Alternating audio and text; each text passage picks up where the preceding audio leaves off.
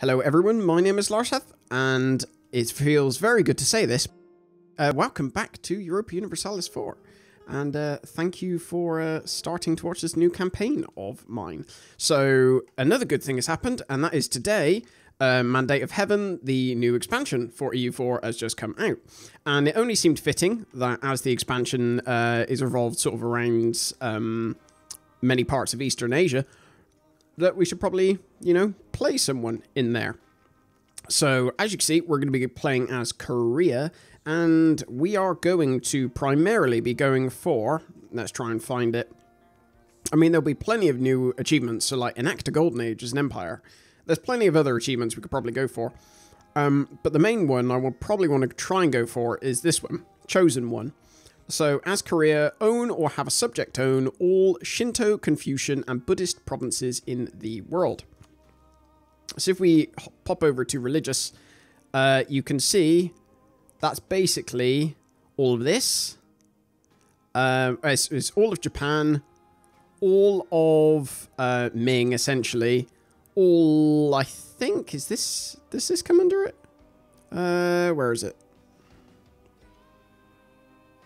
I think it this is included, and also down here. So it's most of this area. So it'd be quite a, a war-heavy campaign, I guess. Um, but that could be, uh, I mean, obviously Ming is the, the big thing we have an issue with. And they are actually probably, I guess, the main focus of this expansion. Um, in that they've sort of got a load of new uh, uh, mechanics associated with them. However, our first port of call is Korea, uh, will be to invade a lot of the uh, Jurchen tribes up here and then maybe make our way across here. At the moment, Japan is far too strong to take alone because they've got all these little daim I think it's daimyo. Is, that's how it's pronounced? I'm probably butchering that as I normally do. Um, and basically, whoever is um, shogun, I think it is, uh, can call all of them into a war. So uh, basically, you attack one, they all attack you. So, so we won't be going there for a while unless uh, something spectacular happens. We will probably first be going for Jianzhou, just because it's the most sensible option. So to do that, I was we basically need to find somebody to ally us. Um, as you get, actually, this is probably another thing worth looking at the... Ooh. A lot of the reputational, uh, not reputational thing, the diplomatic things has changed because, of course, now the diplomatic macro builder is available. I have not played on the PTR, so I don't actually know where it is. Uh, that seems all the same. This is all different, um, slightly. Oh, is that another button? Reduce inflation. So that button's moved, hasn't it? That's that's not the same place. Declare bankruptcy. Oh, okay, that's a new button. Raise war taxes. Again, so they've made a few new buttons in this area by the looks of it. Uh, that looks similar. Uh, that's the same. Ideas. Actually, we'll quickly go over ideas. So the first one, Korean ideas. Um, tech cost minus 5%. That is awesome. Uh, because what we're going to be doing is going for a military advantage over Ming, because they get a minus, they have basically a bit of a crap military. They get a minus 5% discipline, I believe, unless that's been changed, um, to their military. So all you need to be is like one or two techs ahead of them, and you can, well, even one, you can theoretically dominate them. So that is really good. It's actually, before I forget, we are going to go for our national focus as military straight away. Because we also Korea starts off with a really good ruler, 655. It's very good. Fortunately, you pay for that by having a bit of a crap heir, but hopefully our ruler doesn't die for a very, very long time. Anywho, back to ideas. Stability cost modifier, that's always a good thing, never a bad thing. Uh, production efficiency plus 10%. Money, um, I don't know what actually trade good we generally produce.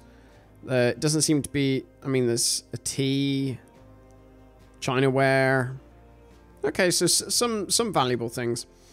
Uh, what else? Uh, ship durability plus 5%.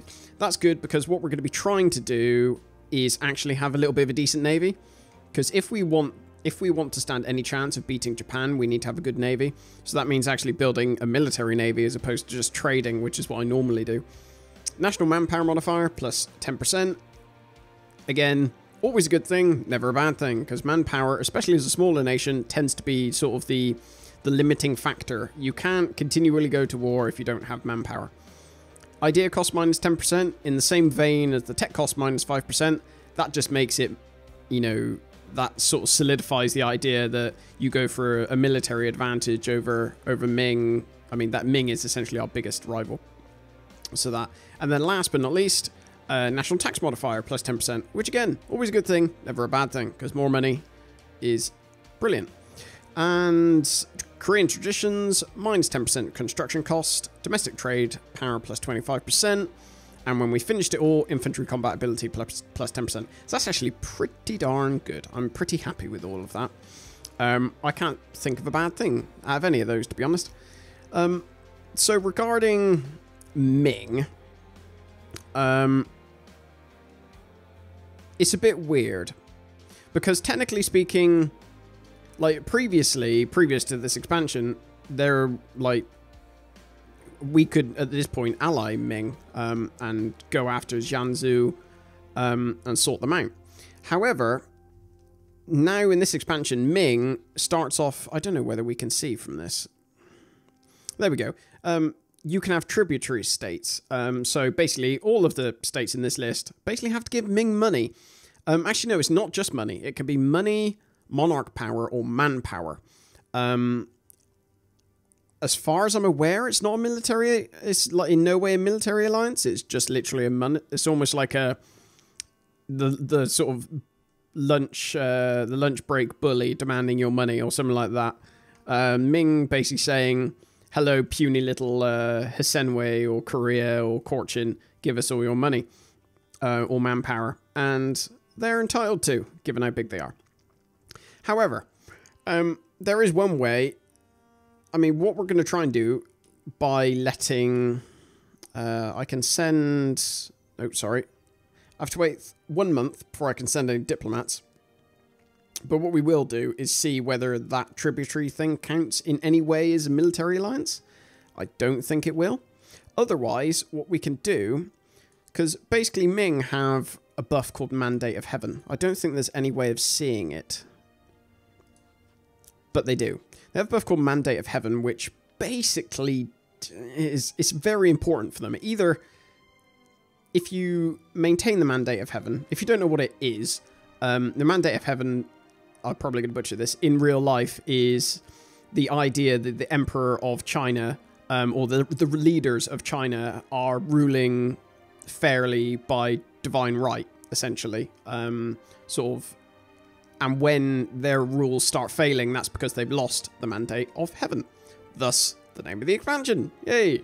Um, so, basically, Ming get bonuses to like national unrest and stuff like that when they have the mandate of heaven. As soon as they lose it, things go very bad. They get like plus it becomes more expensive for them to buy stability, and they also get plus 10 unrest, I think, like nationwide, national unrest, which is a lot.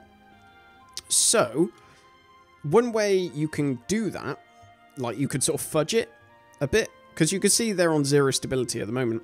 So what I could do is get a royal marriage with them, and then if I insult them, that should bring our their opinion of me below zero. At which point they should cancel the royal marriage and if you don't have full diplomatic ideas selected, cancelling a royal marriage will drop will cost you one stability and a few prestige, I think. Um, and then as soon as that is one of the things for the Mandate of Heaven is that if they drop below one, zero prestige, they lose the Mandate of Heaven. So that is a, a way of sort of provoking Ming apocalypse. Um, and it's much easier to do that if you sort of start off friendly. Otherwise, you know, most people wouldn't be able to get the uh, royal marriage with them. So we might try and do that. Um, so what we're going to do first is obviously see whether we can use them to beat upon Jianzhou. Um, before we click play, though, I mean, I've been talking for like 10 minutes. I should probably shut up and do something. Um, Barques, let's send them and protect trade. in Nippon. Yeah, Nippon. And we will rename this one Nippon. Um, what else do we want to do? So this is a nice, so we got cogs. This, this is a nice navy. So we're going to try and keep this navy and maybe make it a little bit bigger. Uh, we got a few spaces, three spaces. Um, so that'll probably be a few more galleys, I imagine. Um, one, two, three. Definitely build some more galleys um, to fit out this navy. Um, good. What else? So what is our... Ooh, we're on the wrong view. Um, lovely.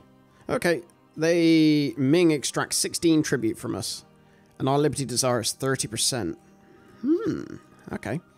See, if you notice, relative power to Ming is actually quite high. Um, and that is because Ming really isn't... It looks powerful, but they really aren't. Especially if they use the Mandate of Heaven. Like, they're terrible at military stuff. Anywho, moving on. Uh, what... Ooh, this has all changed, doesn't it? They've even added a cavalry to infantry ratio. So this is how many cavalry to infantry you can have before you get that malus, I, su I suspect. Ooh, I love that. This all looks nice. It's very nice and shiny. Um, so what did, what was I after? Um, my land force limit 15. So I can I need a few more troops. Um, I've got 9,700 manpower, but I probably will need these troops. So let's get us um, some troops, some more uh, infantry, sorry, and a some cavalry. Uh, missions. Um, conquer uh, this province there. I will take that. Um, that's great. Too few rivals. Jianzhou and Haixi. Again, I don't even remember if anyone watched my failed um, Manchurian candidate uh, campaign, but I could not pronounce most of these things for to save my life. So again, I apologize if I'm butchering it. Right, we do have diplomats, so it's probably... Ooh, is there anything else that's changed here? Harmonize with religion. Provinces with harmonized religions are tolerated as if they were Confucian. Confu confusion? Okay, so tolerance of the truth, faith. So we want to keep sort of a, presumably a high harmony. Okay. Lovely, that makes sense. Um, where is this? Is there a... Oh, is it here? There we go, diplomatic. So, we can... Neighbouring countries, threatening countries. So, this is the new Diplo builder. Basically, you can get your this is where you can control most of your diplomatic actions from essentially. And it is amazing. Oh god it looks brilliant. So like especially if you're in the hre and you don't want to forever be micromanaging all of your um diplomats like improving relations you could just pop them in here neighboring countries or whatever and they'll just bounce between them top them up keep them going you never have to bother. It's fabulous. Um and yeah, so like proclaim guarantee, and it'll show you all the countries you can proclaim a guarantee over. Cancel tributary, Ming, uh, dynastic actions, Ming. Okay, that's good. Improve relations. Um, I at the moment I'm not going to mic. I'm going to micromanage it at the moment. To be honest, there's nobody I really want to improve relations with. Maybe Oirat for the moment. Let's improve relations with Oirat. And because a lot of these we're going to want to go to war with, if I'm honest. Um, Khorchin are a bit too close. Because they'll... Yeah, because Oirat have got Mongolia as a vassal, I believe. Yes, they do. So that actually seems okay. If we could get Oirat as an ally, that would be really nice. Oh, we should probably look at this age stuff. So the the ages is a new feature in this expansion. There's four different ages you can see down here. And they basically expect certain people, certain nations to do certain things. I mean, and when you complete, once you get, uh, basically, you can get buffs for completing a number of these things. And once you do it, you could start Golden Era, which gives you all of these bonuses, which is very nice. Um, it seems a little biased, though, to me personally because it seems like there are going to be certain nations who are like dead shoo-ins to get a lot of these things, and other nations are just never going to stand a hope now. So that makes it a little bit strange to me. Maybe that's intentional, like in terms of age of discovery, you're sort of expecting, you know, Spain, Portugal, maybe France, Britain, Great Britain, or England um, to do, you know, a lot of uh, discovery. Who knows? So we'll see what we could do in there. I mean, discover America, control centers of trade. That's doable. Large city, maybe doable. Yeah, how much? What's our capital currently got? Uh, where are you? Oh, it's only got 10. That, that sucks. Okay, never mind. We're not going to be doing that. Um, have at least five vassals. Probably not going to happen just yet. Own provinces on two different continents. No, humiliate rival. That might happen, but we're probably going to be wanting lots of stuff. Ooh, I completely missed this. So this is the new mechanics I was talking about related to Ming, and I haven't seen any of this yet at all. Because again, I didn't play any of the beta. I've had no access to it until today. Um, only the Emperor can enact decrees. So it's basically similar to the HRE, but they... Okay. So basically, yeah, it's similar to the HRE. So the Emperor of China um, gains or loses um, mandate growth based on presumably how many tributaries there are in relation to how many there are not. And how many there are not, I would assume, means people who are bordering them. And then you can get celest you can enact celestial reforms. And you can get a bunch of buffs, basically. Hmm, that's pretty cool. Um, I think that is all of the stuff for this expansion that we've gone through. Like, general large features. There's probably a few other bits and pieces in there that I've missed. Um, let's quickly... We've got one trader free. So one of them... Where is one of them? He's there. Um... Yee. I'm going to collect trade in Beijing, I think, um, just because this we can't filter trade from over here, so we're going to have to essentially maybe pick up an extra ducat or so there. I think that's probably the best way to go. Um, right, I think we are actually ready to press play, amazingly. Is it worth improving relations with anyone else? Maybe let's try Dai Viet. Um, and who else? Basically, I, I would quite like to find people who don't necessarily like Ming. That would be quite nice. So let's do all that. I remember we're just waiting until the 11th of... Ooh. Yay, construction cost minus 10%. Uh, we're waiting until the 11th. Right, so now we should... I've made a slight mistake. Um... Damn it. I have to wait another month. I didn't have I didn't have any diplomats left. Uh, right, so can we do... Okay. Okay, that's fine. So we can't do anything. Ming don't help us at all. So actually, here's what's going to happen. I'm going to royal marriage, royal marry Ming. I get a queen consort. And then I'm going to insult them. And we'll see how this goes. Because it might be that they just turn... Better I try this now than try it later and fail miserably.